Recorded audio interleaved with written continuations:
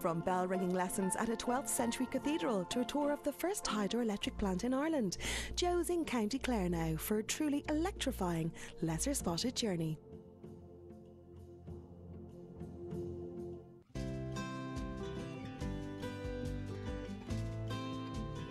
Lesser Spotted Journeys, proudly sponsored by Glens of Antrim Potatoes.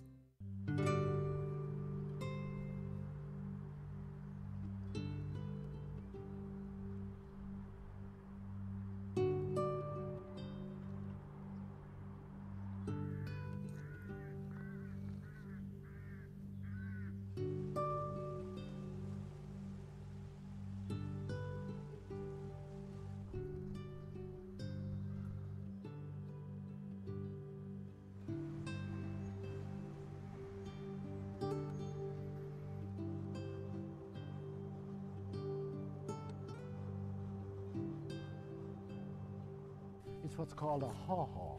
Oh, I know what I know what they are. And you know what a I haw-haw know what. is. Uh, Ah, well, you've we taken called we it. called it a ha ha. but I know that uh, because it originated in French, it's called a ha ha. So again, the river was the reason that was brought here. Indeed, Aye. indeed. Uh, You, you, you won't get a story in Killaloe and Ballina Unconnected. that- unconnected to the River Shannon. right. Oh look, there's a there's a salmon just jumping Yeah. behind us there. Just look, There, yeah. he's performing for us. His brother Mahon was killed. Um, he ruled from Kildoo as well. He was a great man, man. Great. I don't- I don't- I'm not biased or anything No. like that, you know. No, I was wrong. No, you're wrong there. I was Yeah, wrong no, there. yeah. I was, Try it doing, I was doing so well. Yeah. I'll do the first We're doing again. w- very well otherwise. All right. Yeah. The River Shannon flows through three great lakes on its 200 mile journey southward from Cavan to Limerick Lough Allen, Lough Ree, and Lough Derg. And just where the waters of Lough Derg decide to resume the journey as a river again, there was a crossing point, deemed narrow enough in ancient times for cattle to be driven across from the east bank to the west. Rarely would they have gone in the opposite direction because these cattle would be tribute paid to a great king by the clans who sought his protection and acknowledged his leadership. The Irish word for such tribute was Baru, and that became the title of the greatest of all Irish high kings, the one who built his royal palace here and who made this small village, for a brief but glorious spell in its long history, the political capital of Ireland. Welcome to Killaloe on the west bank of the River Shannon in County Clare. Local people may well be exchanging wry smiles by now because they will have been instantly aware that I was issuing a welcome to County Clare on the west bank of the Shannon while actually standing in the County Tipperary town of Ballina on the east bank.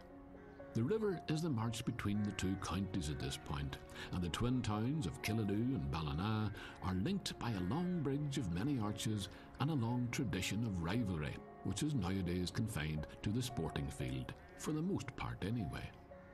County affiliations are often most keenly felt and local identities most vigorously asserted at the edge of adjoining territories. Nonetheless, the inescapable truth is that Killaloe is viewed to best advantage, with its natural ally the Shannon in the foreground, from the opposite bank of the river. Its 12th century cathedral dominating the skyline and keeping a sentinel watch on the mix of early medieval and modern construction in the mazy streets below its parapets. The River Shannon takes on many forms befitting its many functions, and as you leave its banks to enter Killaloe, there's still a canal to negotiate before you begin the ascent of the narrow meandering thoroughfare, which thankfully has survived the perils of 20th century planning to retain all of the charming inconvenience of its medieval character. At the summit, where now stands the Catholic Church, is the ancient site of Brian Boru's royal palace of Kincora, his seat of power and the foundation of Killaloe's claim to fame as the political capital of Ireland a thousand years ago. We'll return inevitably to Brian Boru and Kincora a little later. For now, I'm making a strategic retreat back to Ballina, for it's here that James Whelan docks his boat, and it's from here that he embarks upon the Shannon with visitors who will soon count themselves fortunate to have explored the area in the company of such a knowledgeable and personable native guide. I'm starting with the very basic navigation details that Lough Derg's less than a mile to the north and Limerick City, is somewhere to the south. To Limerick City, about 10 miles. And On- that's where the, by river? By river. And that's where the water changes in. It becomes tidal. And it's very, very different when you get to Limerick because the water really does speed up. If the power stations start to generate electricity, it can be very, very fast. Tides don't affect it this far Not no? one bit. We've No? the best stretch of water in the whole Shannon. You would say Bec- that, of Of course. course I would, yeah. But uh, the hills, even the hills over my shoulder, Yeah. they go to about 530 metres. And in the worst of a southwesterly wind, the lake, the lower end of the lake, can be like a, a sheet of glass. So the river is probably the reason why either of these towns was put For here in the very first For place. certain, yeah. Way back, probably thousands of years. All thousands of years, yeah. And then Killaloe got its name in the 7th century from a saint who came to live on Friars Island, which is now submerged because of the power station. Is there no sign of Friars Island left None at all? whatsoever, none No, whatsoever. right. There is a monument on the roadside, but that's it. Well, we're talking about another few other landmarks along the way, and uh, you're mentioning this place here, which is. Uh, you tell me that was an old mill. That's right, an old marble mill, would you believe, for milling marble. They used the power of the water to run machinery to cut rock, marble rock, into uh, monuments and dairy slabs. And that goes back to the year 1832. And if you go into the cathedral behind us and you read the inscription on some of the slabs and the monuments that are in there, it'll say made at Killaloe Marble Works. And that was back in the 1830s. 1830s. How did a place here end up making marble? Was the marble brought in from somewhere else? It, w- it would have been, but you see, you had the combination of two things. You had the drop in the river here to turn the mill wheel, Ah. but then obviously marble being such a heavy commodity, you had the canal on the other side of the mill, and the marble came up from Limerick docks along the canal, and the, even put a cut from the canal back into the marble yard for the canal boats, and then it could be hauled into the yard and worked on. So again, the river was the reason that was brought here. Indeed, Aye. th- indeed. Uh, You, you, you won't get a story in Killaloe and Ballina Unconnected. that, unconnected to the River Shannon. Right. Okay. So that obviously became obsolete whenever the water level got so Unfortunately, high. You had no fall anymore. No, in 1929, but the miller was compensated. The power company then they bought out the mill, and thankfully there are still men working there today. It's Oh, a really? it's a workshop belonging to the power company. Oh, I see. Right, right. But it's not cutting any more marble. No, anymore, no, Unfortunately. unfortunately. Right. And there's a few other landmarks along here. Well, we, we know about the cathedral, obviously. But down here, there's a wee footbridge That's right. Yeah. across what used the railway used to go down there. Directly in front of us, the railway line ran there. It opened in 1865, and it ran successfully right into the 1920s and 30s. And the last train left in the 40s with a couple of derelict carts. Yeah. But when the railway line was built initially, they blocked access from Ballina town down to the riverbank. And the local women were not at all happy about that because the river was where they would wash their clothes. Oh. And the first train that came into town, we had a, a case of uh, women's rights being worked on here in Killaloe when the ladies came and they sat on the track. Industrial action. Industrial action. By the washerwomen. by the washerwomen of the town. And to appease the washerwomen, then the railway company built the railway footbridge over the track and is forever known as the Washerwoman's Bridge. The washerwoman's bridge. That's so right. the river was also one part of back to the, back to the river again. It The river was part of that story because they needed the water to wash their clothes. Exactly, exactly. But also the train that came out from Limerick along the line here, Yeah. a lot of the passengers would have been coming to Killaloe to get on pleasure boats and to go up the River Shannon. And the, the fare included a trip on a boat Loch And that was the reason the train came here because it didn't go anywhere else. No, it was a- is the end of line? It was the end of line, yeah. yeah. Right, right. So it brought all these. So really, you're carrying on in that tradition. I am, I am. I'm a bit later than what those guys were doing, and we would uh, have a bit more modern of a boat. But you mean the draw, the attraction of the river and the attraction of Lough Derg, it's been there for over 200 years. So you have to acquaint yourself with an awful lot of ra- a range of topics, You would. you would. including all the history. Yeah, it's easy when you've grown up in a town. It's very easy when you have grown up in a So town. you, you, you didn't have to sit down on some stage consciously and read up and bone up on all your facts and your dates. And I would that. just keep the dates right because dates right. are important. Yeah. But you know, my dad has a grocery shop in Killaloe now for 51 years, so uh, the trading in the town is something we've done that length. And I worked before I worked on the boats. I worked in his shop, so I know what Killaloe and Ballina are like. For going back now almost. Uh, Was- well, you, you said to me earlier on, I was working in the shop that gave you the idea of doing this in the first place. Indeed, yeah. Because yeah. people kept asking, you know, "C- c- can we not get a boat out in the river? Exactly. Yeah, like we that?" have a lovely ice cream machine, and we're well known for lovely ice creams. And constantly people coming in. You know, is there any way of getting out on the river? And back in 1991, when I was just 15, my father pushed me out of the shop and onto a boat, and I never looked back. And you've been doing that ever since. Indeed, So you started doing this when you were 15. 15 with a small little boat with just four people in it with no cover. So any wet day was a cold day. Yeah, yeah, and, it, and it's grown ever since. But I mean, it's a beautiful situation. You've got, you've got um, Killaloe on that side, and of course it's County Clare. Yep. And you have Ballina on this side, it's County Tipperary. Now, There's a rivalry between these two. Huge rivalry, huge rivalry. And I'm glad to say that that's the only bridge between Killaloe and Ballina, the only bridge that links County Clare with County Tipperary. And if you look at it, sections of that bridge got swept away in a flood in the 1840s. Right. And it was the Tipperary people who wanted it to be put back because they liked being connected to the good people of Clare. But the Clare people weren't so keen on having it built back. Right. You're, not, you're, you're only joking, of course? I'm dead serious. so the rivalry is very And so the legendary rivalry between the good people of Killaloe and the equally good people of Ballina, no doubt, is stoked up yet again. As we travel southwards away from Lough Derg, I am marking out a spot on the west bank to my left because that's my next destination. Under those tall trees, the original Beal Boru, when we come back.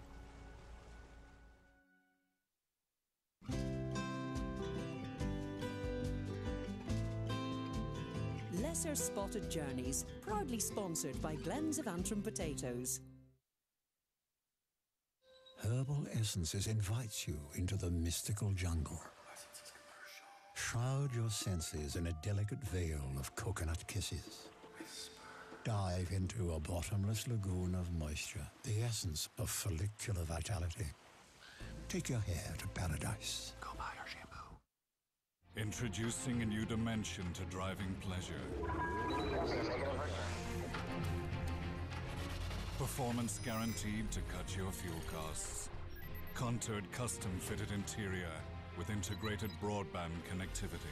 25 major routes, express connected through the day, every day.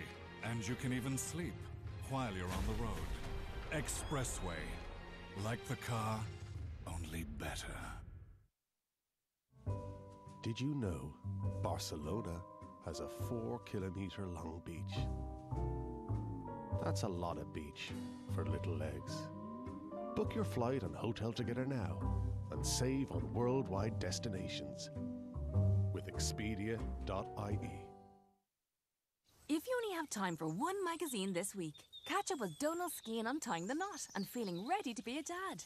Saoirse Ronan tells all about the Oscar buzzed movie Brooklyn and her mother's real life story. And create the perfect festive season with our free mini ICA book of Christmas. RTE Guide. Grab life by the pages.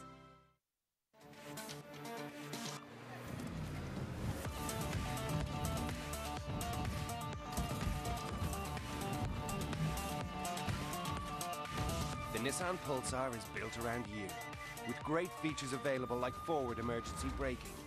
It has all the technology you need, exactly when you need it. Available from 20,695 euro. Nissan. You'll never look back. Sarah loves waffles. Lily loves berries. It's croissants and crepes for Ali and Jerry. Just when Nutella couldn't get any better, we put all your names on it. Letter by letter. Put your name on it and have your Nutella your way. What do you do to reveal your underarms? Just shave. But shaving can cause irritation. Dove Compressed contains one quarter moisturizing cream to help skin recover. So, for beautiful underarms, just use Dove. All the care of Dove in a compressed can. Uncle John hated everything about Christmas. Well, not quite everything.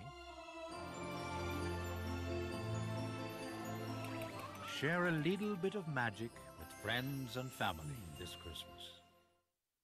Introducing the Expressway Seat Sale on more than 20 major routes for just $7.99 one way. Buy your ticket online before midnight, November 30th. 5 a.m. We're still out. And it's my period. But here I am, best night ever.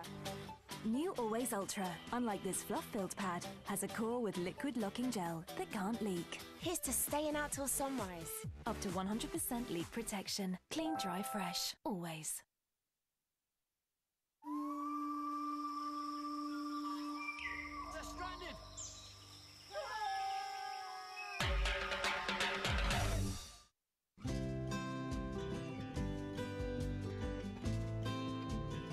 Lesser Spotted Journeys, proudly sponsored by Glens of Antrim Potatoes.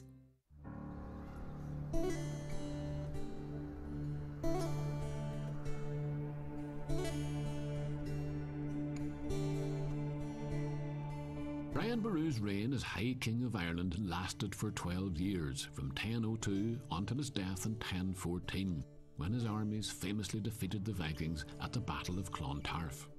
In the year 2002, the Irish Postal Service An Post issued a series of stamps to mark the thousandth anniversary of Brian's accession to the High Kingship and commissioned artist Finbar O'Connor to depict scenes from Brian's life. This image is of Brian seated in his royal palace at Kincora, here in Killaloe, where the Catholic Church now stands. Kincora means head of the weir, and from this summit, Brian and his successors, the Clan O'Brien kings, would have had a commanding view of the river below. But that also meant that the enemies of the O'Briens would have had a very clear view of their target, Kincora. The builders and the repairmen must have been on more or less permanent standby at Kincora for much of its existence, because there cannot have been a building at any time in the entire history of the country that was attacked and destroyed and rebuilt so often. Brian Boru made it his royal palace in the year 1002, and just 14 years later, two years after his famous victory and death at the Battle of Clontarf, it was attacked and burnt to the ground by the clans of Connacht. But over the next hundred years, it was attacked and destroyed on no less than seven more occasions. Once by lightning, but most often by the O'Connors, who seem to have taken a spite against the place. The worst occasion was probably in 1062, when E. O'Connor added insult to injury by not only sacking the palace, but also feasting upon the two sacred salmon that were kept in a pool inside Kincora. The sacred salmon, bounty of the Shannon, of course, had long been revered as symbols of wisdom and knowledge by the Dalcassian tribe, of which Brian Boru, as King of Munster, was de facto leader. He had succeeded his elder brother Mahon, who had been the first king of Munster. And for all that they were professed Christians, they would still have been steeped in the ancient lore and belief of their ancestors. Brian himself would have been a firm believer in Evel the Banshee, the fairy goddess who guided the fortunes of the Dalcassians, and who lived at the top of Crag Hill, which overlooks this earthen fort, less than a mile upstream from Killaloe, just where the Shannon emerges from Lough Derg to become recognisable as a river again. This is Beal Boru, the place from which Brian, and indeed his brother Mahon before him, derived their title. It's also the place where I've arranged to meet local historian Una Kierse to find out more about the man who broke the stranglehold of the O'Neills and moved the High Kingship of Ireland from Tara to Killaloe. So really, he, he, he, he put Killaloe on the map, so to speak. He did, But certainly. Because as I'm having my palace here. I'm from here. I'm, I'm a proud Munster man, and this is this is where my palace is going to be. Absolutely, he was certainly a local man. He grew up here. He was born here in 941. He may have gone to maybe even Clonmacnoise to be educated for a few years in between. Um, but as king of, of Munster, who he on after, or he, Hmm. which he attained after his brother Mahon was killed, um, he ruled from Kildoo as well. He was a great man, man. great. I don't- I don't- Yeah. I'm not biased or anything No. like that, you know. But that was his older brother, and he was That killed. was his Uh, older It was really only because he was killed that Brian came into, came to the fore, really, I suppose. Absolutely. Brian had a lot of older brothers, but some of them were killed, and some of them were abbots in monasteries, so they wouldn't have been in line for succession. The his father. astonishing thing, they were, probably Brian Boru's greatest achievement was living to the age that he did, given the times that were Well, absolutely, given that the hard life that he had and all the battles, I suppose, that he was involved in. Um, yes, he was an old man. He was 73 by the time of the Battle of Clontarf. And he, he didn't actually lead the Dalcassian forces at, at Clontarf, but he did go to Clontarf. His eldest son, Murrough, led the troops on, on that occasion.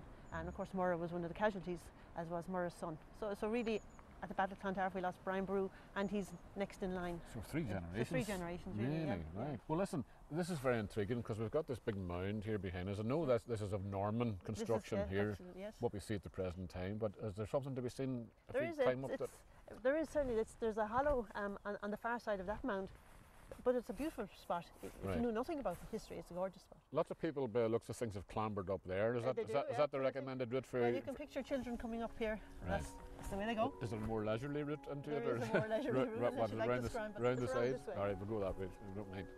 Una has been familiar with Beal Boru and the surrounding area throughout her childhood, but I suspect she would have been more aware of its significance than her peers, because she would have learnt a great deal from her father, the esteemed Killaloe historian Sean Kierse.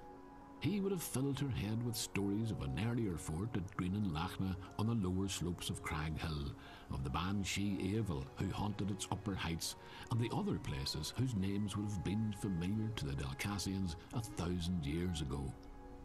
Further over there too, there was a, um, a field called Páirc na nEach where, where they kept their horses. Right. So So it was a big kind of settlement, really. This, wa- this was only the centre part This of it. was only yes, this was probably just the centre part. It was where they manned. The idea of being here was to control movement on the river. I see. So this was a sentinel looking out over the traffic looking outside out there. over. And you're standing back in those days, of course, the, the, Shannon would have been much shallower. Well, right at Killaloe it was a lot shallow, shallower. Um, Right. You couldn't navigate from Limerick to Killaloe back then, which is why the canal was built much later. Now the canal opened in 1799. Right. But try to visualise the Vikings making their way from their base at Limerick, trying to get right into the heart of the country. They had to use the River Shannon as their as the artery. Um, but they'd come as far as Castleconnell, where they met rapids and shallower water, so they had to leave the water. They'd leave the water with their boats, carry them, and make their way along here. Hills around here were heavily forested, and to try to get their boats back into the deep water. So they carried those big longboats Yeah, on, the, on their shoulders. right. They must have been pr- pretty, pretty anxious to get a raid going. So I mean, I mean, there was no obstacle that they could not overcome. In other words, Probably Yeah. not, yeah. Okay, so this, uh, also because this was the shallow part of the river, this is where the the, the, the, kind of fording place where Yes. they drove cattle across. Yes, and uh, that's where the word Boru came from. So Brian Boru, Boru is not a surname. The word Boru literally means um, tribute or cattle tribute or tax. I'd say there'd be one-way traffic as well, most of it, wouldn't it? Because there were yeah. very few tributes paid the Paid other the way. other yeah. There are associations as well, of course, with, with the, the mythology of, Oh, of yeah, that yeah, whole period, yeah. as well as the history of that. And there are lots of myths associated with Brian Boru. And with the Banshee or Evil, um, who, who's also associated with, with, the, with Craig Hill behind our backs here, was, um, I suppose, loved by the Dalcassian and believed in by, by the Dalcassian tribe. And it's said that she appeared to Brian Boru the night before he died at Clontarf, At Clontarf. and foretold his death. But all this time, you know, if you mention Brian Brady, somebody in the country, and they say, "Oh, I Clontarf's Oh, yeah, and that's- you know, wait for for he only spent, as you say, a couple of days there. Here's where he spent his entire life. And we spent a lot of time last year in 2014 commemorating not just the millennium of his death, but the I suppose the end as well of, of his reign as High King, because he reigned here for 12 years between 1002 and 1014. So for, for that period of time, Killaloe was the equivalent of the capital of the country. It's certainly the seat of power. It was You know, it's indeed. where things happened. Was there, was there a special kind of There celebration? were we had celebrations year round here, but there were also celebrations. We worked a lot with our I suppose our colleagues in Clontarf and Cashel and Armagh. Other colleagues now, Uh, are no, they? yes. yeah. Oh, yes, we we- made good friends around the country. Good, we did, good, right. um, and had some fun as well. In 1116, just over a hundred years after Brian Boru's death, Turlough O'Connor of Connacht attacked and burned the O'Brien stronghold here at Beal Boru, and three years later, in 1119, he finally destroyed Kincora, dismantling its timbers and stones and throwing them into the Shannon. The same year saw the death of the man who is thought to have built the miraculously preserved St. Flannan's Oratory here at Killaloe. He was Brian Boru's descendant, Murroch More O'Brien, the last of that name to hold the High Kingship of Ireland, and the last also to hold the Kingship of Munster outright. By the time Donald More O'Brien built the original St. Flannan's Cathedral at Killaloe in the late 12th century, he was King of Thomond, because the Treaty of Glanmire in 1118 had divided Munster. The Kingdom of Thomond, or North Munster, ruled by the O'Briens, with South Munster, or Desmond, conceded to the McCarthys. Donald's original building was destroyed in 1185 by, predictably, the men of Connacht. But the beautiful Irish Romanesque doorway from that building was preserved and incorporated into the 13th century St. Flannan's Cathedral, which has been the Church of Ireland Cathedral since the Reformation. Remarkably, the name of the first Protestant bishop in 1576 was O'Brien. Brian Bridgelane was the organist here for many years, and he delights in showing visitors its various treasures, of which the centrepiece is, of course, that doorway. You'd like to think that in the 21st century the cathedral's treasures are now safe from marauders. Not so, according to Brian, as you'll soon hear. And uh, the parts of it that were really worn out, so to speak, they had rotten away, was that pillar there. So that's that's renewed since 2000. And it was rather rotting like uh, it has been there. Do you see it? Kind of, yeah. flaking Yeah, but that that'll be there for another hundred years or so anyway before or that needs a replacement. It's amazingly beautifully decorated, It is. isn't it? I mean, I mean, the, It is, yeah. And that was all done. You can picture him as That's a, right. a thousand years ago with a wee tiny, tiny That's right. chisel in his hand. Yeah, well, one day a pair came in from America with a hammer and chisel. Right. they wanted to, to take bits of it back to the States. You're not hammer, serious? Yeah, I am. Hammer and chisel working away on the stonework. Some, luckily, before they started, a parishioner came in and caught them. Seriously? Yeah, that's right. Hammer and chisel. So the, the, the Vandals, the, you know, the, the, Vikings are still are still going around the place. they were. Still They plundering were. away. That's right. They Good wanted Lord. to take bits of it back to the States as a souvenir. So hopefully it'll be still here in another thousand years. Well, I hope now. so. Well, I won't be anyway. Well, I don't think either of us will. But here, th- this is a lovely atmospheric um, It is. and part well, of course, the acoustics here are brilliant. They're even more brilliant here than they are down there. So if you say anything here, your words reverberate for about half they an do. hour. they do. We had a choir down from Christchurch Cathedral in Dublin there not too long ago, and they divided the concert into two. Hmm. First part was down the far end, east end, and the second part was played here.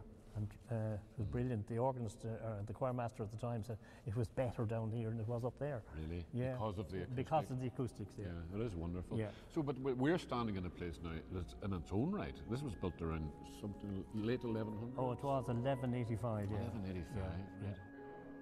Stone and space and time have all combined to form this ancient acoustic, and you can imagine it still reverberating with the faintest of echoes from centuries past. It's a space that houses artifacts that are themselves hundreds of years apart. A stone that bears both Ogham script and Scandinavian runes, telling us that Thorgrim carved this and that it was once a cross a thousand years ago. This is still a cross from the 12th century, at which point in time it stood in a forest of such crosses in Kilfenora to the north of here.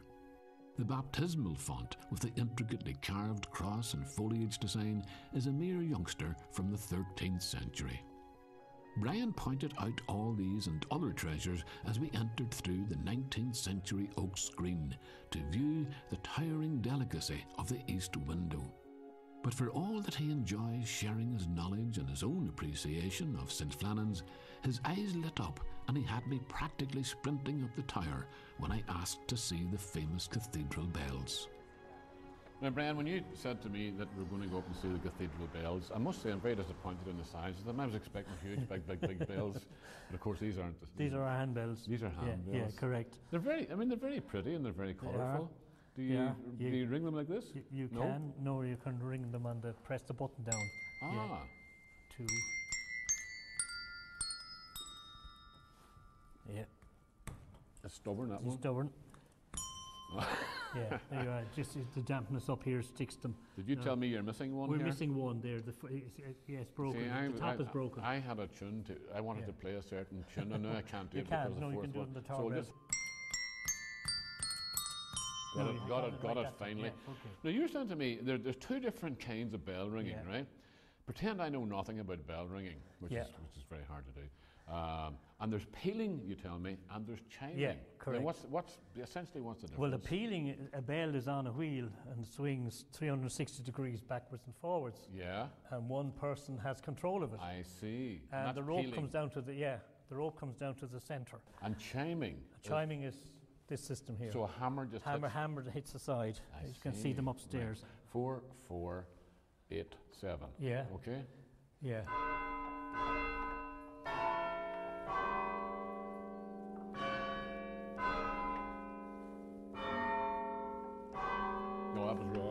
Wrong. There, you're wasn't wrong it? there. I was Yeah, wrong no, there. yeah. I was, Try doing, I was doing so well. Yeah. I'll do the first line doing again. very well otherwise. All right. Yeah. No. You have to wait till they stop. Oh, there's They stop. reverberate forever, don't There they? is. Right, I'll Yeah. start, I'll start again. Right. Yeah.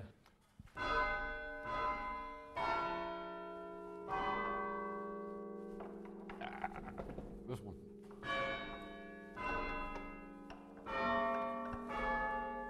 That didn't sound right. Yeah, you did. Yeah, Yeah. was okay, right?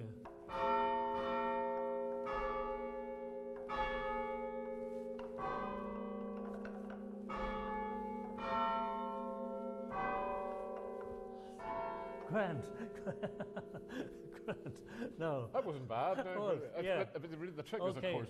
Yeah, I mean, I'm sure there's absolutely no proper speed or rhythm to that whatsoever. No, but you, you had the rhythm right at the beginning. Really? Yeah, yeah, it was straightforward, 4 4 time, if you like. Right. Yeah. So there you are. Uh, I'll do a few changes for you. Do, do a few changes, please. Yeah.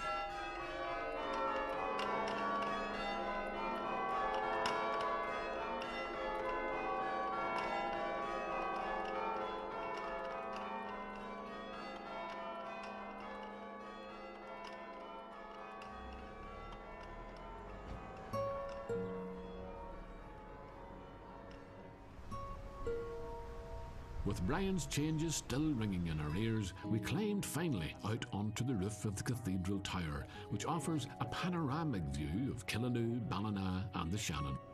You can also see the former bishop's residence at Clarisford House and Clarisford Park nearby. That's another place where they're ringing in the changes, as we'll discover when we come back. Our free mini ICA book of Christmas. RTE Guide. Grab life by the pages. Girls, look at this. Destitute. That is what happens if you don't work hard. Parents, Wednesday at 8 on UTV Ireland.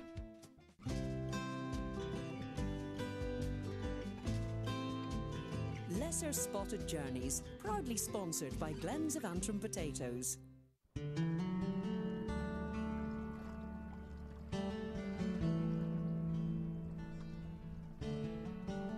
Very shortly now, I'll be drifting southwards with the River Shannon, because down there, I'm told, there be giants. But before I leave the leafy banks of Killaloe and Ballina, there's one important call I still have to make. Up to now, we've been dwelling on the rich history of the twin towns and the many reasons for celebrating their shared past. Well, here are a few reasons to celebrate what locals believe will be a very bright future for the whole community, regardless of class, creed, colour, gender, age, or which bank of the river you come from. Clarisford Park was formerly 10 hectares of the domain of the Bishop's Palace that stretched luxuriantly along the Shannon to the south of Killaloe. And it's currently being transformed into a state of the art sport and recreation complex, complete with playing fields, running and walking trails, and facilities that will accommodate every age and interest group. And crucially, all this has to be accomplished without compromising the status of Clarisford Park as part of the Lower Shannon Special Area of Conservation. Joss Lowry is one of the activists on the Killaloe Community Development Group, which has harnessed the goodwill and the energies of a range of organisations, businesses, and individuals in order to make this all possible. Joss is a retired forester himself, and as such is acutely aware of the way this scheme would be seen to impact on such a beautiful and sensitive environment. As you've said yourself, it's such a beautiful place and where it's located that we spent a considerable time pre-planning. We had to do uh, archaeological surveys, uh, eco- ecological surveys, and we had to employ up to seven professionals before we could go to planning. And as true to say, Joss, that this is really intended for every single age group in the community? When you were doing your planning, is that what you were trying to, trying to accommodate everybody? Absolutely. It is, that was the key word in the whole project was it should be in, an intergenerational activity area. Right. And it, it, it will embrace just the area that we're walking through at the moment is an area dedicated to the Boy Scouts, the local troop here. Sorry, not Boy Scouts, Scouts. Scouts. Uh, and uh, that, that is their area. They have about a hectare and a half for camping and all of that. Right. But they are, believe it or not, as small as a town, the twin towns of Ballina and Killaloe, they're the sixth largest troop of scouts in Ireland. Really? So, and they had no home, so we've accommodated them with a home. But it will, it's catering for every generation. So it's a real, real asset to the town, to the two towns, really. To the twin towns, yeah, twin absolutely. towns, Though the funding mainly came uh, from uh, the Clare Local Development Company because the asset here is based in County Clare. Talking about assets, one of the great assets you had here, or still have here, was Keith Wood. He was one of the main men to unlock a lot of this, isn't that the case? Yes, well, I think Keith contributed as much to Clarisford Park as he contributed to Ireland and the Lions. Well, that's a lot. And that's a lot. And he continues to take an interest in the place as well. Oh, absolutely. We call we refer to him as the boss, even though he's not the chairman. He's always was the chairman. But the whole park has been the catalyst of a new generation of athletes. For instance, there's an athletic club. Yeah, yeah. yeah. There has started a triathlon club. They train down here. So it is huge. You're going to be the fittest people, the fittest population anywhere in the country. All right. You're excused because you're, you Got know, my age, We, is we, it? no, we got, we got to, we got Well, props always carry their weight. And you're going to make sure anyway that these youngsters know a bit about trees before it's all over as well, because uh, you've got a beautiful asset in that regard here as well, isn't that the case? Yeah, and we've tried to preserve the. Well, that would be one of the things we had to do before we went for planning also a tree survey. Right. And we've some very interesting bits and pieces. Mm. And as we walk along here, we are beginning to approach what looks like a stone wall. Right. But in was it? fact, it's not a stone wall. It's what's called a haw-haw. Oh. I know, what, I know what they are. And you know what a I haw-haw know what. uh, Ah, well, you've we, called, we called it a ha ha. but I know that uh, because it originated in French, it's called a ha ha. That- yes. So a false. A, a- yes, a, a it- false surface almost. It was a, a formal type garden, not a real, for, an informal garden. And so they, they, it's really a dry moat. It was to keep So- animals out of it. It was. Joss and I could happily discuss the proper pronunciation of ha-has or ha-has for some time, but I have an appointment to keep further down the Shannon. One final visit in relation to that, though, before I depart Killaloe. This is what remains of St. Molua's Oratory, the little prayer chapel named after the saint from whom the village, the parish, and indeed the whole diocese of Killaloe derived their name. Apart from the chancel here, which was added a bit later, the rest of it's in a pretty ruined state. More so than you might expect for a building that was only erected here in 1930. But of course, this is not where it was originally built. For more than a thousand years, it stood on a little island called Inishlua in the middle of the River Shannon, about a kilometre downstream from Killaloe. And when it was realised that the waters of the Shannon hydroelectric scheme would completely submerge the island, every single stone was removed and rebuilt here almost exactly as it would have looked on Inishlua. Which demonstrates two things how much they value their heritage in these parts, and secondly, how important the Shannon hydroelectric scheme was to the rest of the country.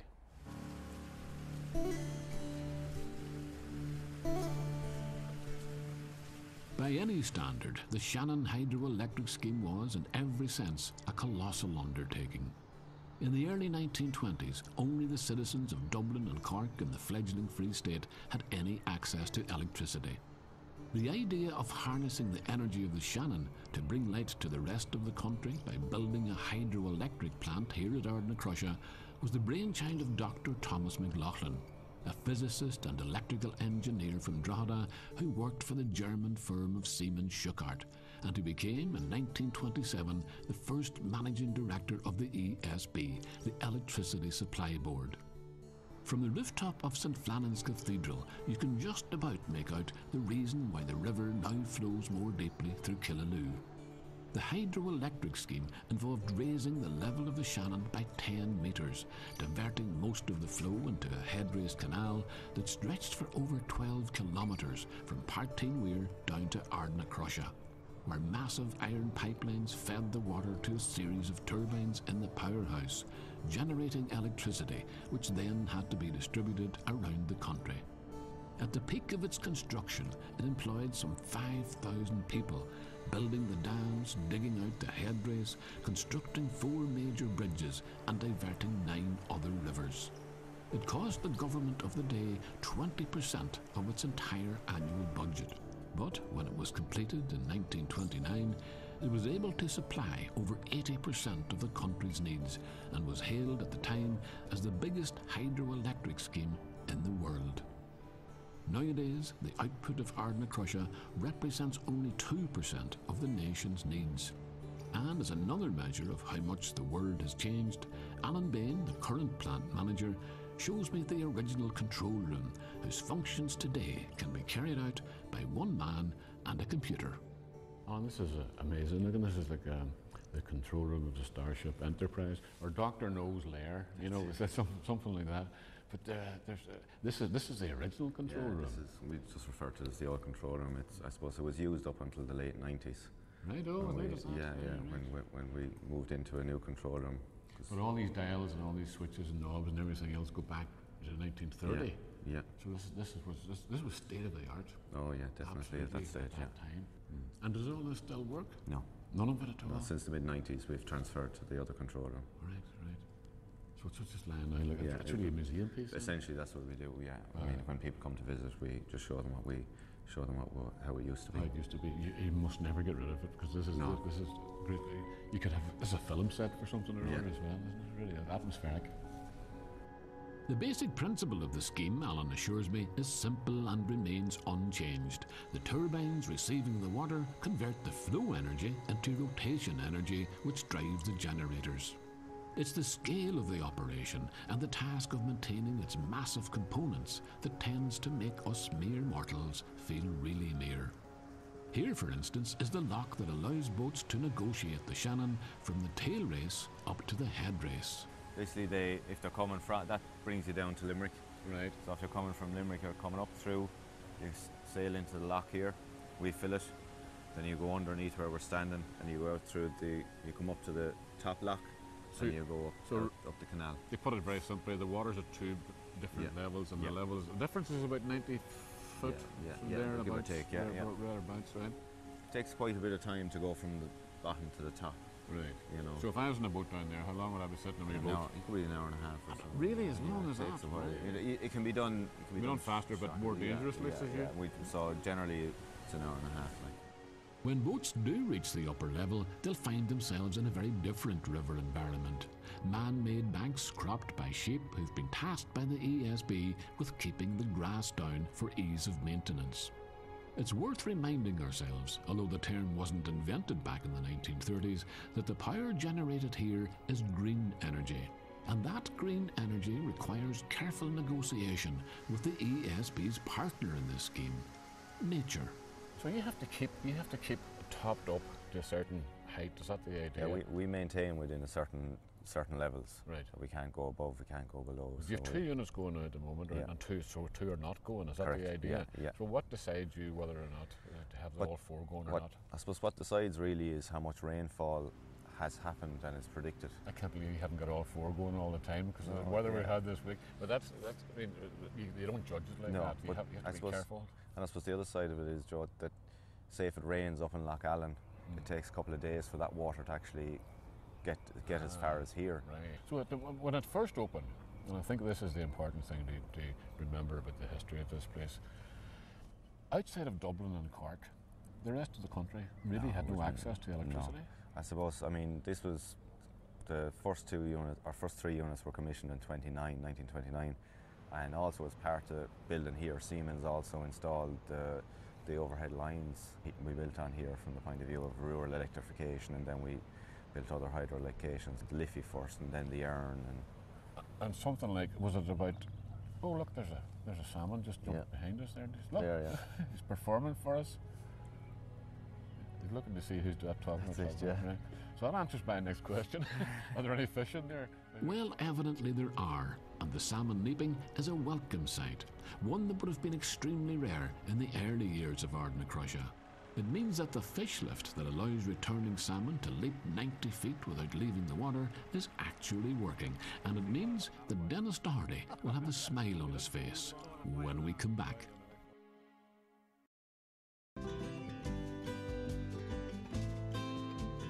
Lesser Spotted Journeys, proudly sponsored by Glens of Antrim Potatoes.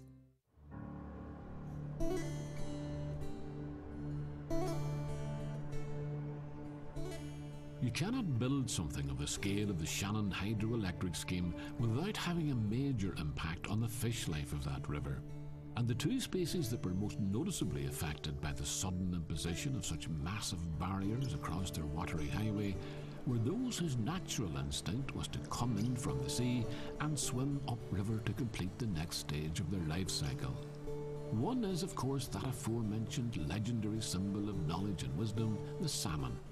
And the other is that mysterious creature about whom we still have much to learn, the silver eel. For centuries, the greatest minds in the world were completely baffled by the extraordinary life cycle of the silver eel because they couldn't work out how they reproduced. The Greek philosopher Aristotle more or less gave up trying and concluded that they must simply emerge from the earth as fully formed adults. And the great psychoanalyst Sigmund Freud, believe it or not, spent much of his early scientific career in the 1870s dissecting silver eels in a vain attempt to find the location of their reproductive organs. It was a vain attempt because the eels he was working on didn't have any, at least not at that stage of their development. A Freudian might say that it was this failure that led him to concentrate on more slippery specimens later on in his career. It wasn't until the 1920s that Danish biologist Johannes Schmidt discovered that eels don't develop reproductive organs until towards the end of their lives, which could be anything between 10 and 35 years. At which point, the eels have to swim 4,000 miles across the Atlantic to lay their eggs in the Sargasso Sea, where they themselves were born. You can be sure that Dr. Dennis Doherty is well versed in all the latest that scientific research can tell us about the silver eel these days. Dennis is a fisheries biologist and he heads up the ESB's quite elaborate efforts to mitigate the impact of the hydroelectric scheme on the Shannon's populations of salmon and silver eels. In the case of the salmon, that involves rearing the fry in this conservation fishery just below Parteen Weir before releasing them as smolts into what's now called the Old Shannon. In other words, the river flow that remains after the bulk of the water has been diverted down to Ardnacrusha. Dennis, you have a number of tanks here. They all have the same number of, of salmon. These are fry now at the moment? These are fed fry, or in other words, they've just begun to feed. Right. And it's probably about between five and six thousand per tank. These fish will actually imprint onto this hatchery here, so that when they release the salmon smolts, we fin clip them. There's a small fin on the back of the fish. We clip that off. It doesn't go back. Right. And it doesn't harm the fish. We release them to sea, to the river outside here. They come back then about a year later, and they will actually come back into the fish pass here behind us, and into the salmon trap and we will separate our hatchery from our wild fish at that trap. Oh, so there are wild fish still doing their own thing out there? Wild fish do their own thing, use the fish passes here on the Shannon, uh, and hatchery fish are coming back to this hatchery. Is it possible to say at this stage, I mean, what percentage of returns that you get, or do you have figures like that? Uh, we do, uh, because the Marine Institute have a, a national program where they tag portions of fish, Hmm. and uh, we know that probably in between, say, half a percent and one percent of those young salmon smolts that we release from here will actually come back as adult fish. Which isn't that different from a completely natural state? Isn't that the case? Because No. predation and all sorts of attrition would, would, would diminish their numbers anyway. Yeah, there's a lot, a lot against salmon, which is why a salmon produces so many eggs. So that's the salmon. Well, hope, hopefully they'll be restored to uh, sustainable numbers and they're not too. But you'll keep doing this anyway, really. It's a mitigation effort that's been going, ongoing since 1959 here As in the long Shannon. as that? Yeah, Right, yeah. right, right. So we're doing it quite a while, and it's limited success, but that success really is unfortunately the decline of the salmon nationally. Yeah, so you're up against that background, as well, were. that's the uh, background, and uh, unfortunately we're fighting that battle. Well, you might be pleased to know that when I was talking to Alan Bain earlier on, uh, we're standing right at the top of the dam, and this big, beautiful silver fish came up leaping out of the water behind us, as if to say, "Look, I'm here." We're you know. Yeah, so Good some, stuff. something's working. Put it Yep. that way. I No, couldn't, I couldn't see whether it had an adipose fin or not. The silver eels, of course, can't be raised here, but the efforts to conserve their numbers are no less painstaking. This box here, or which is actually an elver box, or An an, el- elver an elver box, or an elver trap, is here to actually catch as many juvenile eels as possible. We measure the weight of those eels and we release them then above the weirs. and these would be eels that have come in.